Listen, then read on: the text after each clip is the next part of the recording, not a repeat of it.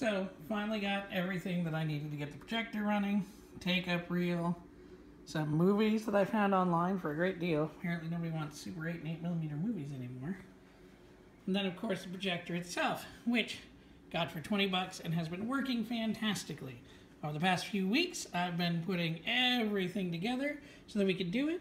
First problem I ran into, ha ha ha, I only had one Super 8 to 8 millimeter adapter. So, luckily, 3D printer came in yesterday, found one, we'll be printing that shortly. So went to go do one more test and the freaking bulb blew. So, that sucks. Found a couple of different ways to actually make one that is going to work right inside that baby right there. Yeah, right in that hole. Mmm, you love it. Okay, rude. Anyway, so gonna be heading out to the hardware store again today and go look for some bulbs that may uh, replace the lamp. So while I go to work on the lamp, we'll be printing four Super 8 to 8 millimeter adapters. So that will be very cool. And then we will hopefully be able to view 8 millimeter video by the end of the day. Okay, so now I'll wrap this guy up in clear packing tape for what the internet said. All nice and good on there. Don't worry, fun part's coming up soon. So we'll put another little piece on the top in a minute. All right, that's pretty secure in there. Now, the next fun part. Take this guy and put it inside this bag. All right, get it in there. And then we'll zip this guy up. Yay, secure. Some of the air out of it first. And look at the other parts of the counter. Really probably shouldn't be doing it on the counter, but what are you gonna do? Alright, now it's in there. And very gently. Whoa! Should have been holding it. My bad. Alright. Now Gabriel's helping as he's screaming, Why are you breaking it? There we go. Oh. Well, that worked too well. I don't want to get glass all over me. So now we just have to separate out this, squish it a little bit so we can get the reflector out. Ooh, keep it in the bag so we don't get glass shards everywhere. Come on, baby. Come on. Almost there. There we go. Ta-da! Now ta-da! Great, right? So now we have the reflector and those pieces. And the glass is gone. So, Gabriel's gonna hold the phone eventually. I'm gonna go in here. And again, inside the Ziploc bag so we can avoid glass everywhere. Just break that off. One jump. Yeah, hopefully into the side of the bag. For the sake of this video, we'll say that it jumped into the side of this bag. It probably didn't, because I should have had more of the bag. Alright, a little more shardies. One little more shardy. I still have one goggles. Like Uh. jumping. Uh, I got polycarbonate lenses. I'll be okay. Alright, there we go. Now we've got the reflector and bulb without glass shards. Okay, so now the next part is we're going to be clipping these guys right here. Okay, diagonal cutters ready. So these wires are actually the hot wires, and these stands are just doing nothing really except holding this thing up. So we're going to cut this part off, and then we're going to take this guy out and see if we can fit this guy in there. And if we can't, that's fine, because then we'll just use that guy without the stand. But if we could keep the reflector in, that would be amazing. So as you can see, we got it out by snipping out this bottom piece here with the diagonal cutters and then pushing the other pieces through. Now this is where it's good to have tape or probably something else already down because now there's little pieces of ceramic and throughout the process you'll find little shards of glass that keep falling out. So this is really not safe or good to do the way I'm doing it. So don't do it that way. Get other stuff and do it better. Okay, so as you can see from the tape, we've got most of the little bits we don't need anymore. Secure those up. We'll use some more tape because there's still some little itty bitty pieces out there. Look at that guy. Itty bitty pieces. So we'll keep working on that. Okay, so the first phase of getting the bulb all ready and putting all that stuff together was just long enough for us to have finished the other Super 8 to 8 millimeter adapters. So these bad boys are ready. So we'll grab these off of here and then I use my little forceps here. Can I show you? This has been very helpful. Doop, doop. See how easy it is? And then they come off. Of course, this one, I put too much pressure on. So I'll sand that down later. But anyway, it's really good at getting these off because this BuildTak stuff is pretty amazing, but when your print's on, it is on. So, I don't really have anything that's going to hold this well to try to Dremel through it. So what we're doing is just slowly using the diagonal cutters to cut through to widen the opening to allow this to fit through. Gonna take a little bit more time, but I also don't have the type of file I would need to get in there, so it should hopefully work. So as you can see, got it through.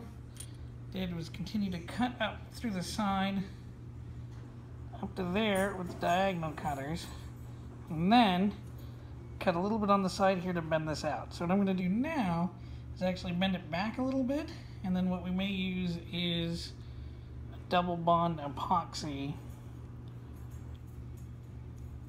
to leave it in there. And then we'll wire it all up after that.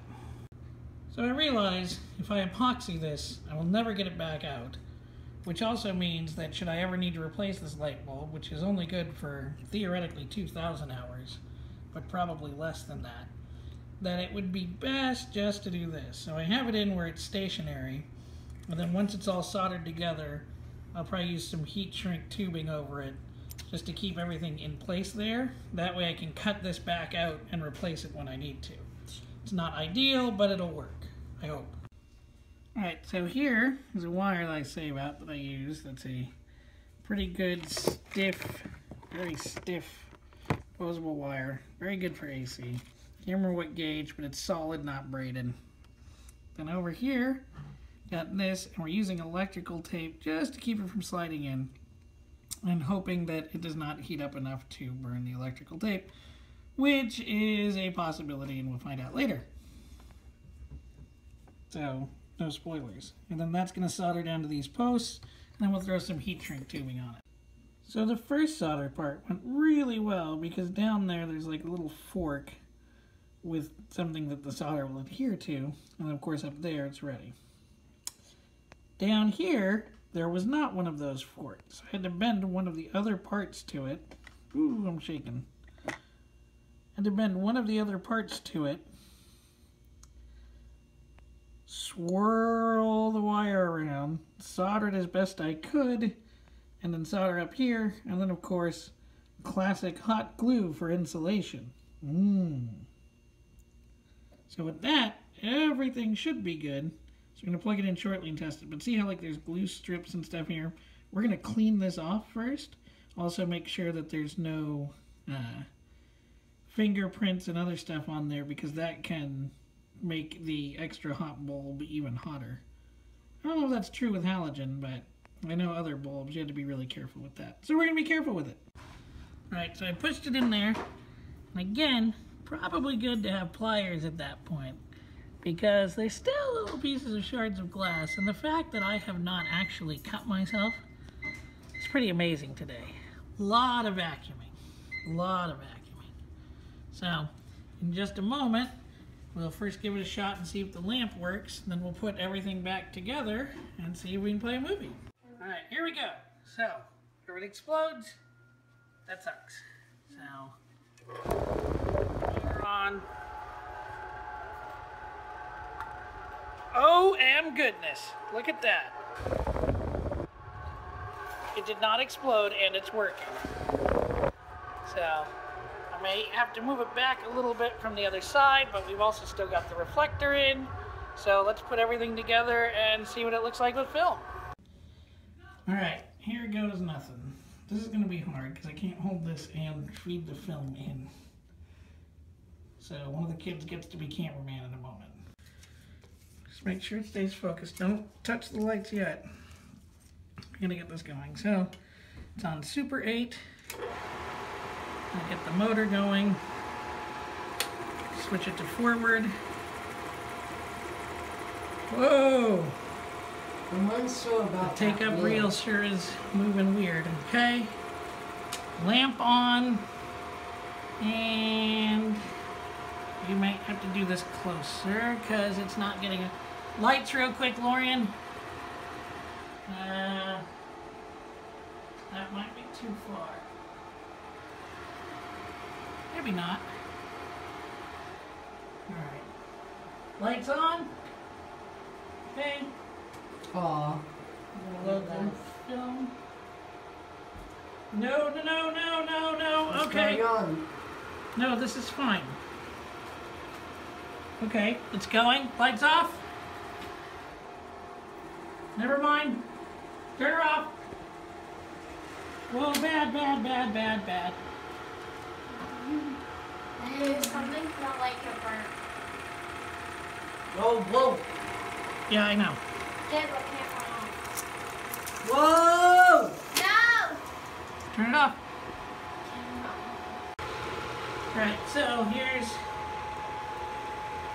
uh, what I like to call the feet. That's the film.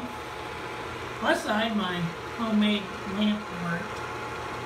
So what's happening is this all loads correctly. And I know these little teeth guys are doing their job too. But then it gets down in here, and somewhere it messes up and just starts spitting it out the wrong way. It's like this part isn't getting to where it needs to be. So I don't know if it's something inside this cabinet that's not holding on. I hold it on with my fingers, the little teeth down there are working. So I thought, oh, maybe those aren't working. They are. Then it needs to go down here and do other stuff, and it's not doing any of that. It is going.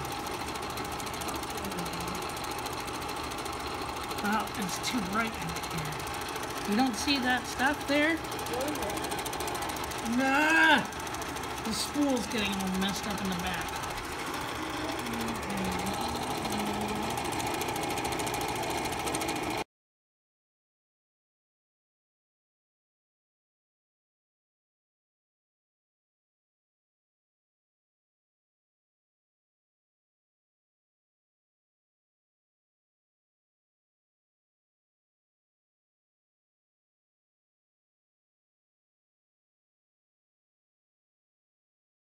Science!